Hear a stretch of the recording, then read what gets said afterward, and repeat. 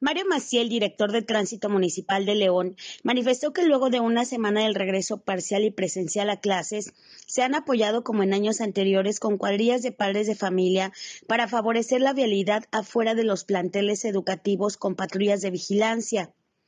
Como cada ciclo escolar, ese año, a pesar de las condiciones ilimitantes para el regreso presencial a las aulas, no es la excepción. Las dobles filas y el congestionamiento en el momento que los padres de familia dejan o recogen a sus hijos en las escuelas. Eh, el regreso, tal como lo indicó eh, el área de educación municipal, pues en algunos casos va a ser gradual, va a ser escalonado, etcétera. Eh, comentarles que en nuestra área de, educación vial estamos en contacto con, tanto con, con, educación municipal como con la delegación de, educación del Estado en, en, el programa esto se debe manejar en, base a programas. Eh, es lo que nos da, es lo que nos, nos motiva y nos hace trabajar.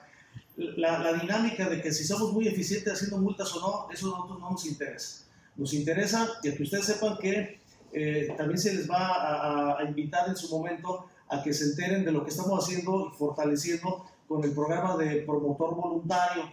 Promotor voluntario, contemplado también en el reglamento, tiene que ver con que ante la imposibilidad, hay que decirlo así, ante la imposibilidad de dar una cobertura al 100% en los planteles educativos, eh, sobre todo de, nivel básico, eh, esperando que, llegue, que sigamos escalando a la famosa nueva normalidad, nuestras áreas de nuestra de educación bien ya está interactuando para, para con planteles tanto particulares como, como oficiales, eh, estar interactuando para, para crear lo que llamamos patrullas, patrullas de vigilancia con los propios padres de familia y con, y con, y con los este, directivos o, profesores de los colegios. Una cuadrilla de agentes de educación vial se encarga de capacitar y dotar de conos, chalecos y algunos otros aditamentos de apoyo a los papás que participan en este servicio escolar.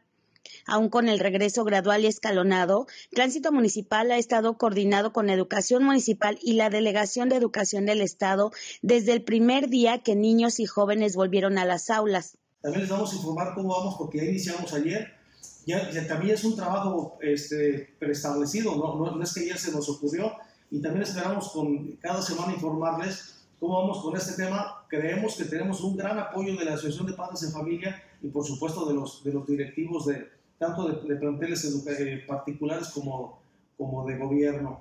Y entonces creo que también va a ser algo que si ustedes nos ayudan a difundir, también va a ser muy, muy importante el, el el resultado positivo que obtengamos. Entonces, perdón, entonces van a estar apoyando a la hora de entrar y salir de las escuelas. Digo, a lo mejor la afluencia no es como regularmente o habitualmente, pero creo que ayer sí hubo algo de complicación en algunos puntos, sobre todo, ¿no? Así es. A ver, eh, sabemos, eh, yo creo que todos identificamos en, nuestras realidades y en nuestros propios rumbos eh, el, conflicto que se hace en, algunos planteles, ya sea de primaria o de secundaria, y todos sabemos que hasta se presta lo, a lo chusco el de que, el de que tanto papá o mamá estamos llegando a dejar a nuestro hijo y todavía le estamos dando la bendición y le estamos recordando el lonche y se te olvidó el suéter. Yo creo que eso es lo común que, que hacemos todos pues como padres de familia.